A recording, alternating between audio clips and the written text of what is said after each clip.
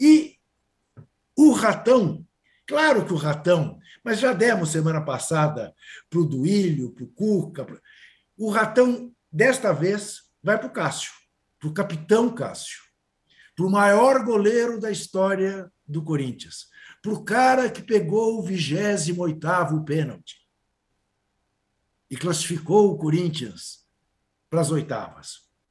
O Cássio escreveu, esqueceu que tem mãe, que tem mulher, que tem irmã, que tem filha e tem.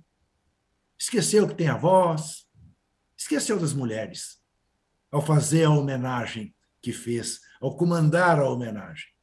E o Roger Guedes fica também com o, com, com o calcanhar aqui do ratão de bronze, porque o Roger Guedes é o seguinte: menos, tá, filho? Menos.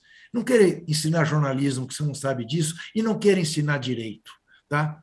É, é, você está convencido da inocência? Ah, que legal. Se você está convencido de uma coisa que a corte da Suíça não, não se convenceu e condenou o cara, mas você está. E você disse para não julgar as pessoas que julgaram o Cuca. Aí você julga todo mundo, inclusive a corte da Suíça. Vai também um pedacinho para você e para todos os jogadores que esqueceram que tem mãe. Quem tem mãe e respeita a mãe, não passa pano para estuprador.